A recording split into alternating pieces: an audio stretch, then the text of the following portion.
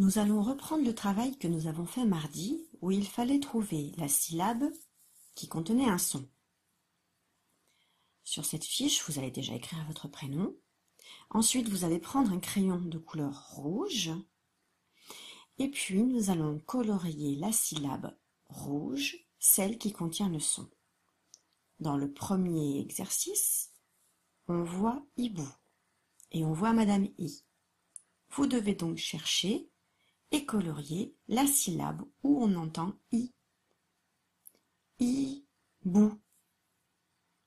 Est-ce que c'est la première ou la deuxième syllabe? À côté, dans le mot cheval, on cherche le A. Cheval. Où se trouve le A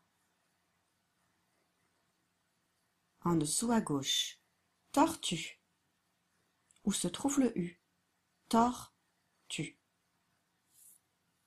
Et le dernier, cochon. Où se trouve le O? Attention, ce n'est pas le on. C'est le O. Ce n'est pas pareil. Moi, je veux O. Cochon. Attention, je vais vous montrer la réponse. Si vous vous êtes trompé, ce n'est pas grave. Vous redessinez deux syllabes au-dessus des syllabes qui sont déjà dessinées et vous mettez la bonne couleur au bon endroit. Vous êtes prêts? Car l'exercice n'est pas terminé. Maintenant, au-dessus de la syllabe rouge, je vais devoir mettre un petit point noir où se trouve le son. Dans le mot hibou, c'est facile, puisque i, bou, dans la syllabe ben, il n'y a que le i. Donc le son se trouve au milieu. Vous faites un petit point noir, comme moi, en plein milieu de la syllabe. Maintenant, pour le cheval, vous avez colorié la deuxième syllabe, val. Effectivement, dans che, on n'entendait pas a. Donc on a colorié la deuxième syllabe, val. Mais dans val, il n'y a pas que a. On ne dit pas un che a. On dit un che val. Dans val, moi j'entends trois sons. Écoutez bien. Val.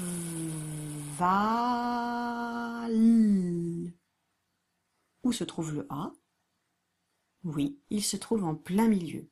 Donc on met un point en plein milieu de la syllabe. Pour tortue, vous avez dû colorier la deuxième syllabe. Tor, on n'entend pas le U. Tu, on entend le U. Dans cette syllabe, il n'y a pas que le U. On ne dit pas une tor U on dit une tor tu. Et dans cette syllabe, tu, il y a deux sons. Il y a t et ensuite il y a u. Donc où se trouve le u? T, u. Oui, il se trouve à la fin de la syllabe. Donc vous faites un point à la fin de la syllabe. Pour le dernier, cochon,